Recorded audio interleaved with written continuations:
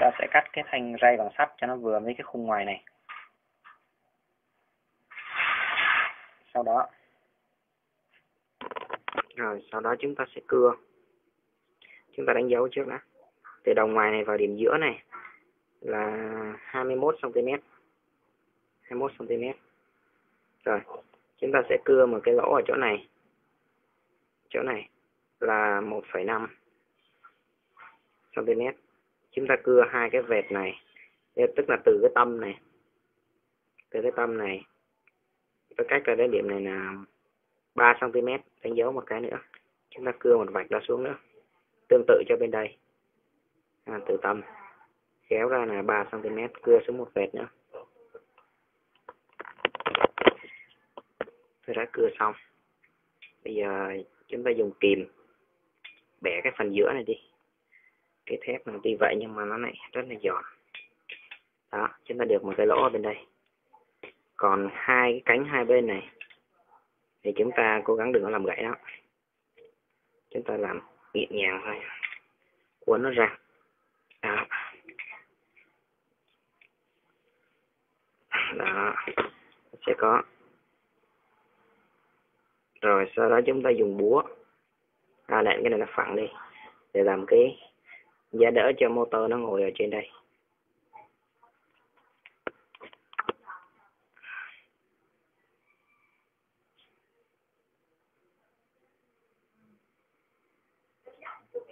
Rồi bây giờ tôi gắn cái motor này vào đây. Các bạn sẽ thấy cái cái lỗ này có tác dụng à, là như thế. Được chưa? Rồi bây giờ tôi sẽ đánh dấu. Lỗ này. Ở đây. Và dưới đây. Để mà trường ốc cố định cái motor vào cái thanh sắt này. Rồi, đã xong bốn lỗ. Giờ tôi sẽ dùng tiếp tục dùng à, đinh vít. Ốc này để mà gắn cố định cái motor vào đây. Chữ này bắt từ dưới bắt lên nhà tôi đã cố định motor xong. À, à, ốc các bạn bắt từ phía dưới lên. Và bây giờ chúng ta cần một cái giá đỡ cho cái thanh ray này để, để nó có thể làm việc cố định ở trên đây. Cho chúng ta sẽ đi làm giá đỡ.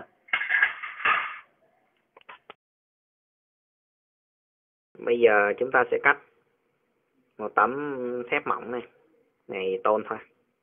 Nhưng mà cố gắng cho nó cứng một chút. Theo ờ, rồi bắt đầu chia nè. 2 cm 3 cm 2,5 cm 2,9 cm và 2 cm đó chúng ta chia theo thứ tự như vậy. Chúng ta cắt hai tấm. Thì hai cái này sẽ được uốn thành hai cái giá đỡ. Rồi đã uốn xong bây giờ chúng ta sẽ gắn nó lên khay trực tiếp luôn. Rồi đây tôi đã khoan sẵn. Khoan sẵn hết uh, trên giá. Gắn vào đây. Và chúng ta dùng rivet bắt xuống để cố định lại. Rồi bây giờ chúng ta đặt cái xuống đây. Rồi bà con chú ý là khi chúng ta ráp chúng ta xoay cho cái này thẳng về phía này. Thẳng đứng luôn. Và cái phần mép cuối này nó hở ra một chút. Như vậy là đạt rồi đó. Rồi, sản phẩm cuối cùng. Chúng ta đã hoàn thành rồi.